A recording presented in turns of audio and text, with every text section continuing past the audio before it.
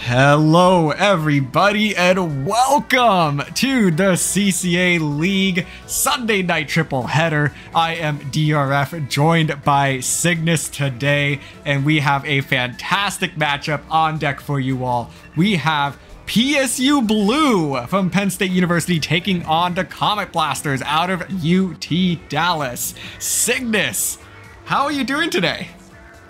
I'm doing very well. How are you doing? I'm doing fantastic. I'm excited to see some collegiate Splatoon action play out here, uh, especially between these two division.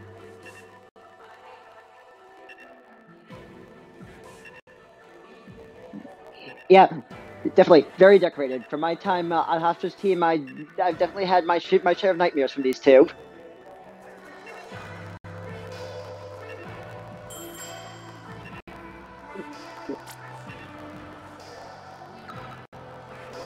Yeah.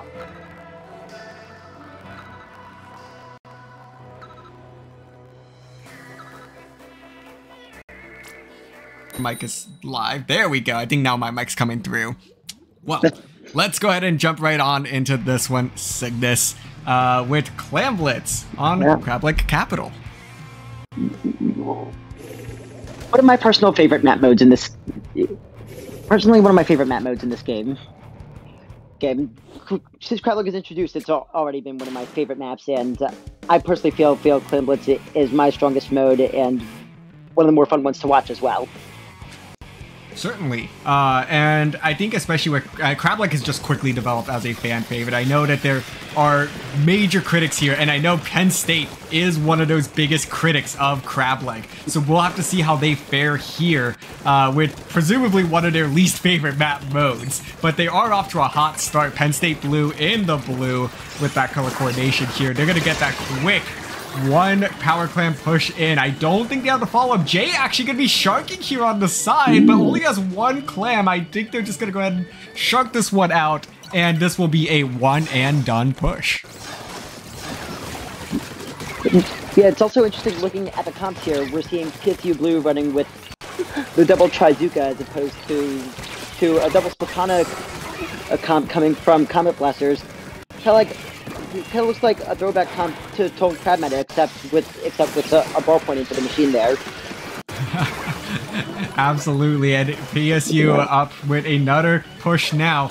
Got one power clam in, plus five, plus six now. They're throwing it in, and with this wipeout, this should be an avalanche of clams on the way. And this scoreboard is going to tick down very quickly here as Kraken just gonna shark this ledge. Surprise, poor old Jimmy there. And now oh. gonna move up, trying to find more, but no, gonna find two members of Comet Blasters instead to shut him down. And now it looks like the Comet Blasters should be able to get a little bit of breathing room here if they can just make sure that the rest of the team is backed up. Yes, they are. So 10 points remaining for Penn State is a fantastic position to be in at this stage.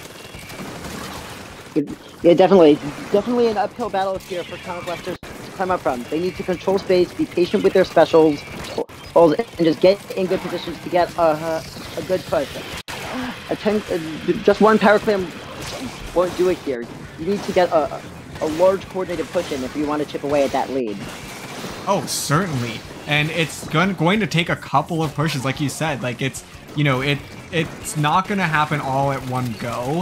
Um, Yeah. And I, if, they're just going to have to slowly like work their way towards this basket. You know, just find an opportunity, get one power clam, even even if it's a one and done. You need to start shrinking this gap as we approach the halfway mark of this game. They will find Kraken there now, finding a numbers advantage uh, to possibly work with here as Penn State is all the way back up in their base. But this Trizooka's gonna find a beautiful double Oh. here. It's Jay coming up big here. 2v2 situation now between these two teams. And I think that Zooka might have just slowed down all of Comet Blasters from making any sort of push here.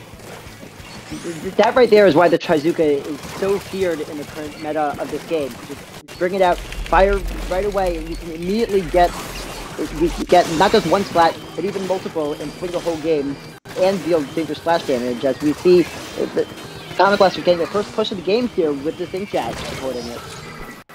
Oh yeah, hey, hey, there we go. They finally got that first push in, able to kind of get their feet wet here against Penn State. Now they know they can approach this basket. Now they're gonna be able to at least close this gap a little bit. It's only 10 points uh, that they really closed, given the penalty that was tacked on as well.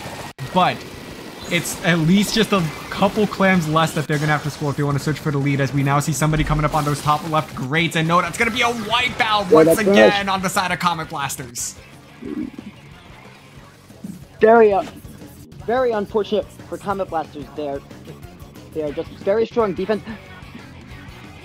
Being held by PSU Blue, I really like the defensive use of that ink backing there. Definitely one of my favorite design specials in the game. So glad it's actually, so glad it, it's got to the point where it's able to see good, solid competitive use now.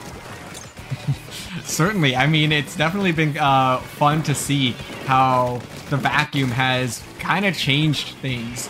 Uh, you know, now that people are actually realizing, hey, this is actually a pretty decent special. Like, it, it's literally a, Yeah, a shield. Directly in front of you. And yeah, like, look, this this is like textbook definition on, on using this vacuum right now. As PSU is going to score once again. They have so many clams in mid to work with, and they have enough now to secure this win if they can just throw in this power clam plus two more on top of it. But the Oh, coming up big, two going down, a third as well. And now with Comet Blasters 20 clams in their pockets, this is going to be one last opportunity for them to try and take the lead and surprise Penn State in game one. But it's going to take a huge push here in overtime. They they need to make this one count. They need to keep as many clams as they can, even while pushing in. With that overtime timer ticking down, you just need to keep as uh, as much as you get, not use them all at once. And that's that's gonna be three down. They need to move up now. hammer. Use one power clamp. but the second What? is gonna get shut down. They only have a couple people left, and it's gonna be Steroid on that inkjet that has to back up, and that's the wipeout. You just got mobbed in mid there. Yeah. Oh man, it, it was such a valiant effort there. I mean, Comet Blasters, I think, definitely gave Penn State a little scare there at the end. As soon as I saw uh, the three down, and they had all the special, they didn't use any of their specials really to get that three down. Uh, think they used the, the, the one hammer, uh, but otherwise they were all set up for a huge push there. That one bomb, uh, that suction bomb on the side of Penn State really saved their butts. Yeah, sometimes just one well-placed bomb is all it takes to end a, a push. Props to Comet Blasters for their perseverance there. That they're there. They're facing uh, almost impossible odds with their opponent down to ten very early on in the game, and they they were still able to put a little bit of fear in their opponent's hearts, even if they didn't ultimately come out on top. Oh, certainly. So, uh, kudos to the Comet Blasters. I mean, and, and that's the thing that I really, really like about this team. Uh, the Comet Blasters have always just been one of the most fascinating teams, in my opinion, in the CCA. They have such a rich history that goes all the way back to pre-season one, uh, when this team was started up with Nito and Seekant uh, as kind of their two star Yeah. players. Uh, and I mean, these two teams have history as well, dating back to season one and even before that, when uh, actually the Comet Blasters in the season one Div A third place match. so we didn't even have division numbers. We had division A and division B. Um, but they played each other in that third place matchup. It was a best of seven, and uh, Comet Blasters actually reversed swept their uh, their way through that third place match to take it from Penn State. Uh, so one of the most iconic matches in history that just was never recorded because that was in Splatoon 2, and I believe it was happening at a time that we just did not have anyone to stream it either. So unfortunately, that match is just lost to history, but. Uh, we knew basically from then on that these would be two teams that would continue to flourish and be just fun competitors here in the CCA. And here they are, still Yeah. What a year and a half later competing in division one uh, going head to head once again Yes, there's just nothing like seeing players as hardened as these veterans on the scene here, and even then, these teams have had tweaks throughout the last few few seasons, but they're still going strong. They're still Division One teams for a reason, and they're here to show us that as they're continuing this rivalry. Oh certainly uh, I, i'm sure that there is some sort of Yeah. recorded stat out there somewhere. We might have to go ask uh, Yeah. uh, Hoken and Krona and Snow. Those are the ones that uh, Yeah. probably keep the most track of this, uh, just to see what what the the record is between these two teams in CCA history. And here we are on Barnacle and Dime splat zones. Definitely seeing more of a backline presence in this game with that Explosher coming out from Vapor for PSU and Comet Blasters running uh, in the Comet, Comet Blasters running the good old ballpoint Splatling. And also that uh, that Flingza roller has sneaky good range. It does, and uh, you know, I think people always kind of underestimate it just a little bit, as we do see the Comet Blasters being the first ones to get control of the zone here, but it will not last long as Penn State very quick to pick off two members here, get control of the zone and the lead, and now starting to push their way up to really lock out these Comet Blaster players. Kraken gonna make a move now here and able to get two on one Oh, bomb. What a double kill. play by the Also, all Div 1 impact. member Kraken Bear. And that inkjet jump, jump from the side Blasters was eliminated by that, and the and also so the the ton of missiles weren't able to accomplish much on the zone either. So that's two specials down down for Comet Blasters that they're having to regroup and rebuild as they as they try to hmm. just take the zone away. Oh, and that was a nice hammer there. However, it's going to be a 2v2 now. They're going to have to really get rid of Snow here, in which they do, but there's still two down. And now this is going to have to be one last-ditch effort here to get control of this zone. The, it's Jimby that's going to try to make a move here, but it's not going to be in time, as PSU will very quickly sweep their way through game number two. Quite a fast game, as Splat Zones games can tend to be sometimes. That was just a, a very dominant performance from PSU Blue, getting very aggressive, denying much, Comet Blasters getting much value out of their specials, and just keep, keeping pushed ahead. So even when Comet Blasters were able to get something going, they still had multiple players in their faces that they had to deal with before getting to the zone. All the while, that timer was ticking down. Yeah, certainly. Uh, and it seemed like they had a couple of good plays there, but I, it's just that this PSU blue team is really, really strong. Uh, you know, they're they're running back the almost same roster that they had last season, but with notable key addition Vapor uh, as a freshman this season is really giving this PSU blue team a major Yeah. boost as they now have a dedicated backline with as we've seen him on that uh, C-Jet and Explo so far, and Flounder Heights is gonna be no exception to both of those weapons. Uh, it's it's a playground for for uh, C-Jets and Explos. Oh yeah, absolutely. Flounder Heights, one of those maps. You, you love it or you hate it. Personally, I'm, I'm in the love it category. I love the way the verticality of the stage just just forces you to change how you interact. So many approaches that you have to be mindful of. You can't just always rush from the front. You have to watch the sides, watch the flanks, Mhm. keep an eye on everything. Absolutely, and well said there. Uh, because I I'm right with you. I love Flounder Heights. It is such a fun map mode. There's the verticality is unlike any other map that we really have in the game right now. And I understand that while it can be fairly lockout heavy, particularly in zones, it's it's fun. And i think that there is still a lot of competitive viability to it. There are flank options that a lot of people are always asking for in other maps. So i don't know. I love flounder heights. I think it's great.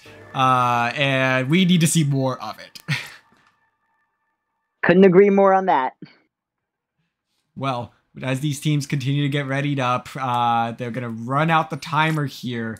So let's go ahead and jump on into game number three Tower Control on Flounder Heights. PSU Blue leading 2 0 over the Comet Blasters. Cygnus, let's take a look at these comps.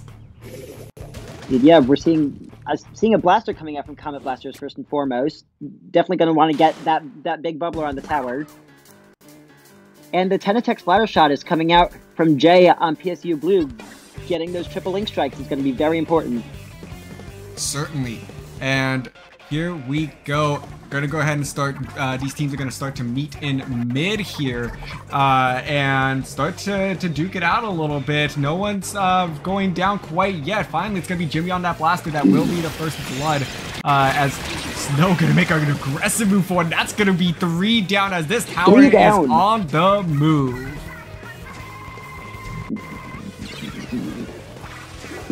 Yeah, here we see Vapor holding the tower aggressively, rotating around that tower to avoid angles, and just raining fire on them down from above, using the tower in combination with that verticality we talked about on, Flounder Heights, just pressuring them, as it's even further exacerbated by that triple Inkstrike, just pushing their lead even more. Absolutely. And now with three down on the side of PSU, Vapor's the last one standing, but there is a jump coming in. It's going to be Snow that's going to try to support here on the front lines. And Vapor going to somehow survive this flank from the side. Uh, ultimately going to go down at last. Uh, but hey, that was a really good push though.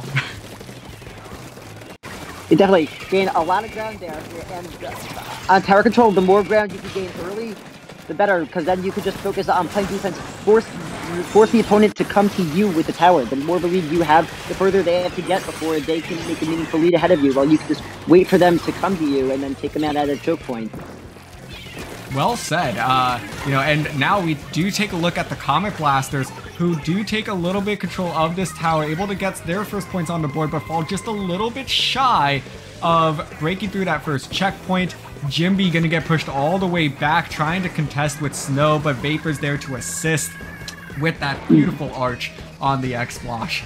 Uh, now this tower is gonna get all the way to where they were, tacking on a few more points now. This is going to be a last stand for the Comet Blasters as they are running out of players and time to get back on this tower. And unless there's a last ditch effort here, this might be it. Yes, it is. PSU Blue knocking out game three. Very aggressive game from PSU Blue, just just gaining the tower, pushing it down, using the upper ground to just rain down on Comet Blasters, and just and Comet Blasters didn't have much time time where they were able to go four strong and put and put and, and push in, in together. A lot of that game, they had one person down, two person down. They were they were too staggered throughout that game. Yeah, uh, it was, you know, very well played there. Uh, you know, and and Yeah. the Comet Blasters actually, you know, I one thing that I really like about the Comet Blasters is that they are a very resilient group. Um, and and I was starting to talk about this before I went into the whole spiel about the matchup history between PSU and the Comet Blasters. Uh, but the Comet Blasters are just a, a really fantastic bunch. I mean, it's one of the most rootable teams out there. Uh, as they're just very scrappy group. Uh, they they are, are always giving teams a good run for their money. Uh, they have haven't had quite the breakthrough that we have anticipated out of them since season one. Um, but they're always right in there in the mix. And especially going into this season, now that Nito and Seekin have both graduated out of UT Dallas, this is kind of a bit of a new look for them. Because a lot of these players that are on their current roster are coming up from their second and third teams. Uh, you know, Yeah. the, we're talking like the Neo Comet Blasters, and I think last season they had like the, uh, I I I forget they they had all the rebrands last season. Uh, but I'm I'm glad that they switched back to Comet Blasters for their A team because I do love Yeah. this name so so much. Uh, but you know, it, it they're doing a fantastic job though of just continuing to hold up the Comet Blasters brand. Uh, and I, you know, I think that the UT Dallas should continue to be very proud of them. I mean, they're here in Division One for a reason. Uh, Oh, yeah. You know, Any team in Division One, you're a very good team. Just against other top competition in in the CCA scene. Certainly.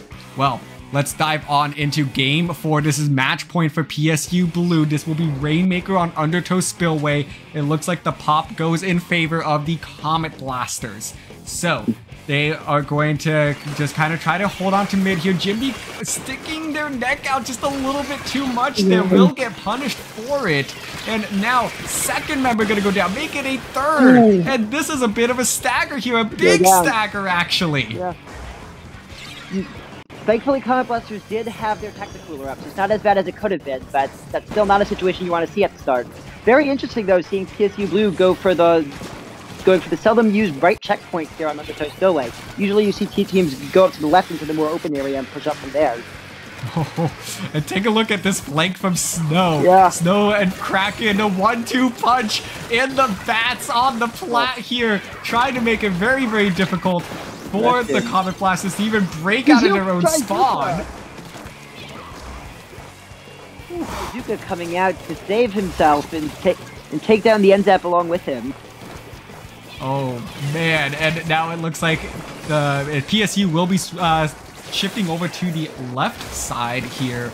Uh, typically used for more sustained pushes. Uh, you're not going to get points as quickly, but it is a lot safer as they do lose control of this Rainmaker a little bit. But hey, Snow continuing to be on a tear here uh, as they're going to go ahead and just back up into mid, give up this Rainmaker for now, try to hold paint as best as possible.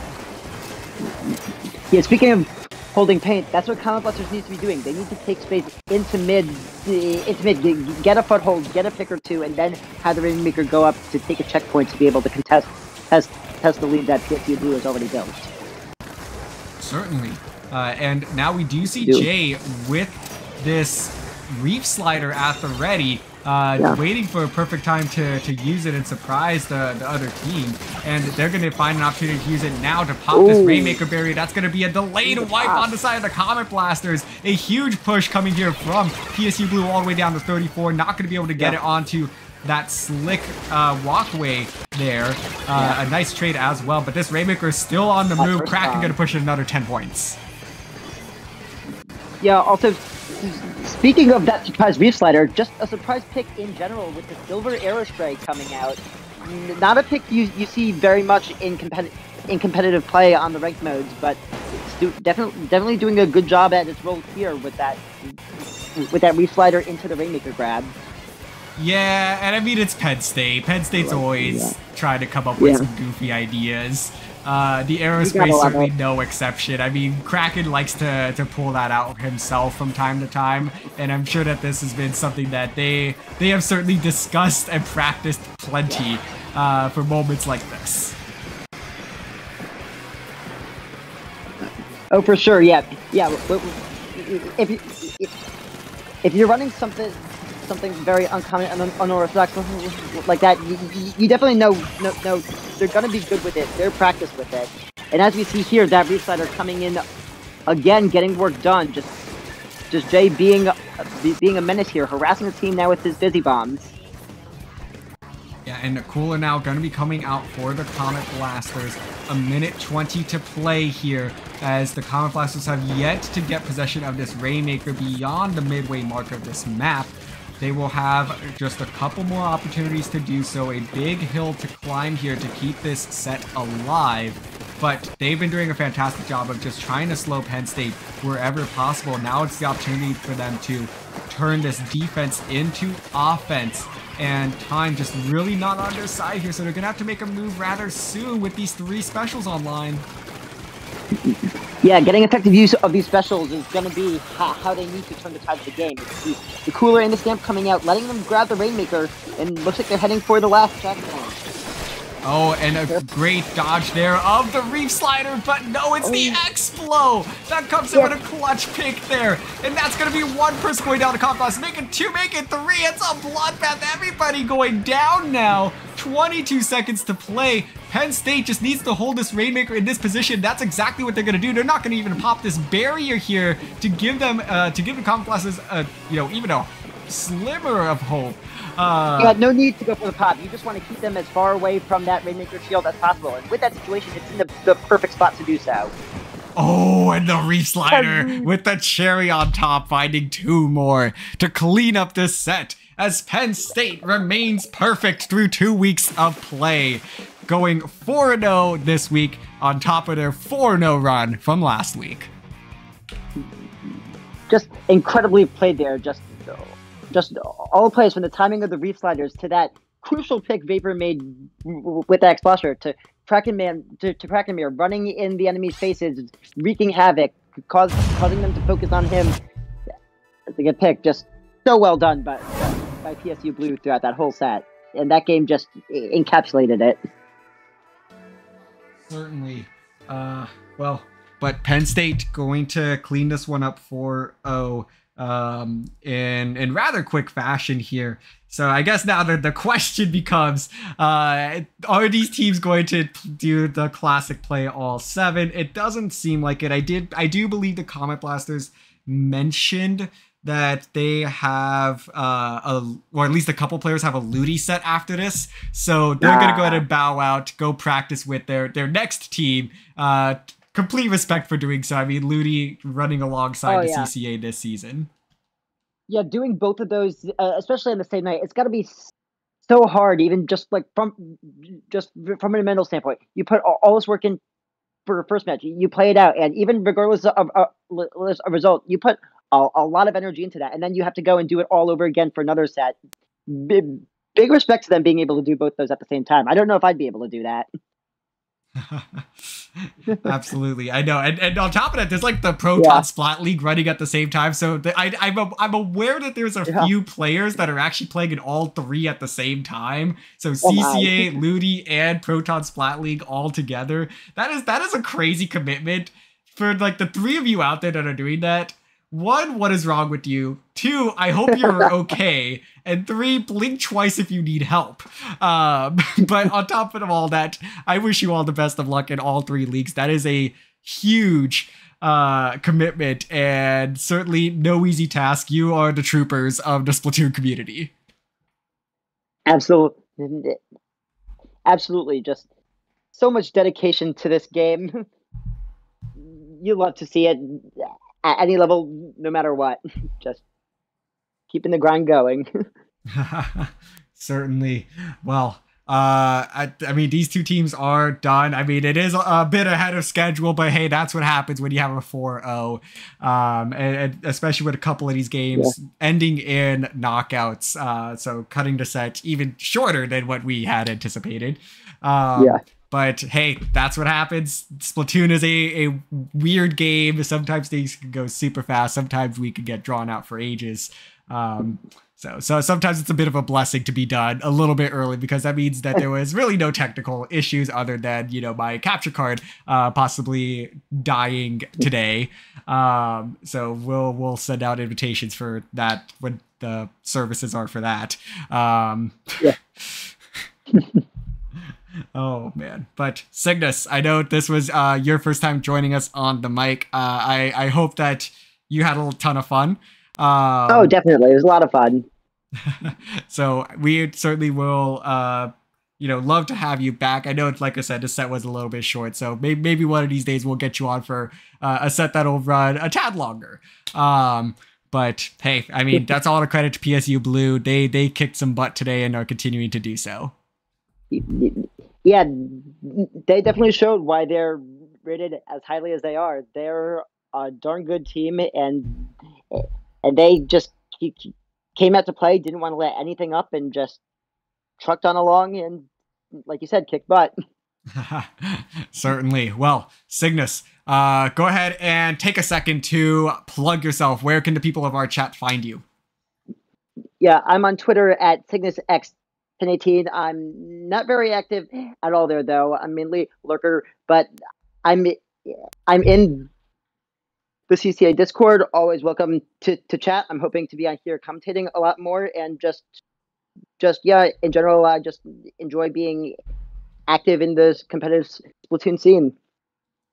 Awesome. Well, and as for myself, uh, I'm going to continue to be behind the production desk. Again, extending an apology for everybody that has joined us today. Uh, my capture card just is trying its best to hang in there, apparently. Uh, but we're doing our best to continue to at least give you coverage of these games. So let me go ahead and plug myself because I will be stepping off the mic and back behind the production desk for this final set that is coming up. Uh, on Twitter, you can find me DRF underscore Splatoon and on Twitch, Triton DRF. But as usual, you can find me right here on the CCA channel covering all things collegiate Splatoon.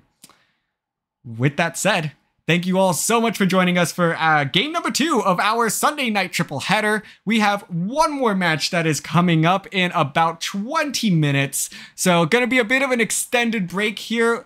we hope that you will join us for that one. Should be a fun time. It's a Div 3 matchup, I believe, uh, between Griffink and I am forgetting who the other team is. Golden Barracudas. There we go.